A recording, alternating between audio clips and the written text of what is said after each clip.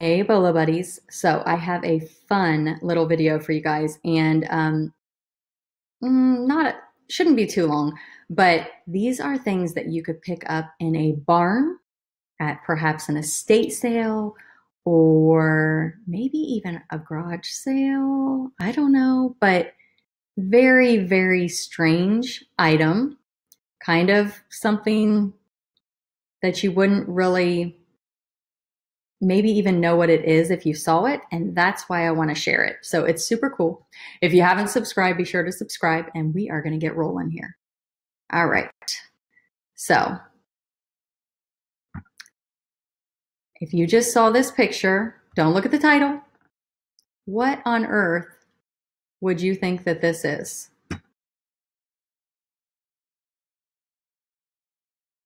All right, guys, it is a vintage antique mouse trap.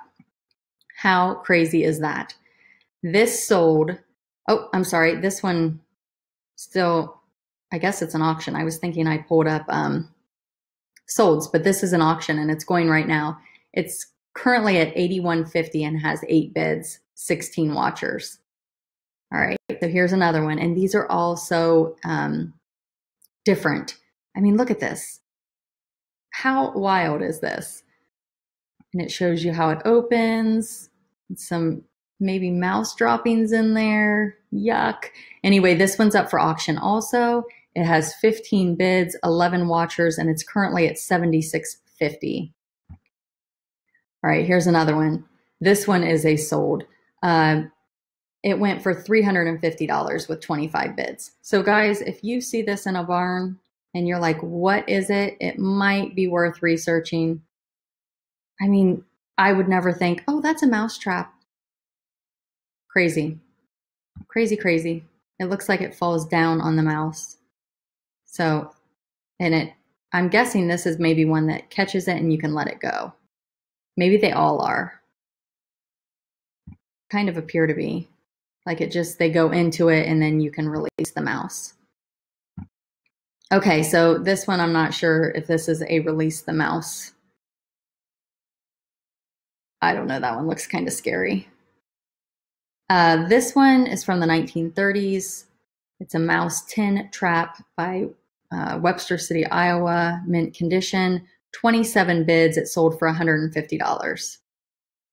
So, uh, here's another one. And I, I just think these are very cool and very interesting. And again, probably not something you're going to see a lot of, but if you do, at least you'll kind of know, oh, hey, that's a mouse trap.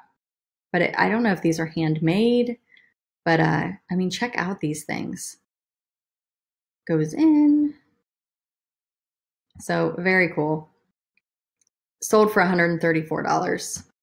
Here's another one. I have no idea. This is, it says trap fruit jar lid. So this is just the lid of one, and maybe you just put it on any jar.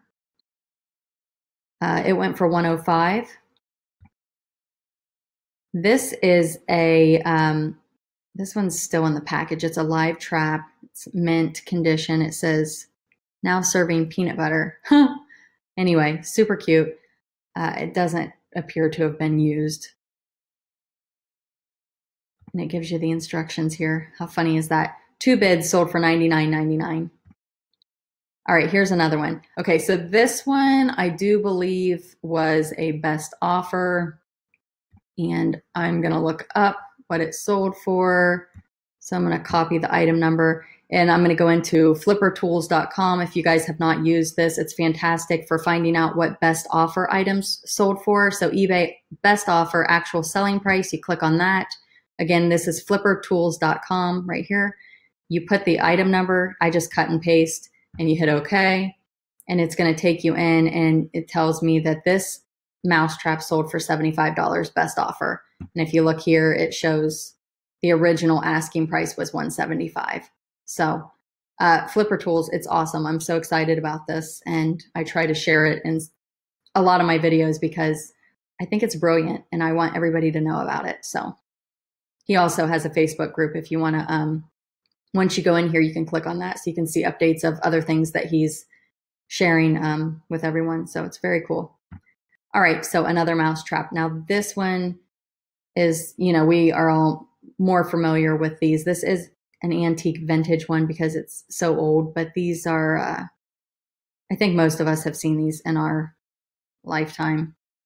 Uh, not a huge bolo, but 21, 49, 23 bids, but the shipping was $12.10. So I'm not sure why the shipping was so much. I mean, this thing can't weigh very much. Maybe they thought it was going to go for more money and they were trying to incorporate in insurance. I'm not sure. But hey, if you could get a bunch of them cheap, buy it for a buck, sell it for 21, I'd take that. All right, here's another one. This one's Bakelite, so that probably is what increased the value. Um, but yeah, that looks a little scary. I would be scared if I was a mouse. That one looks like it might hurt a little bit.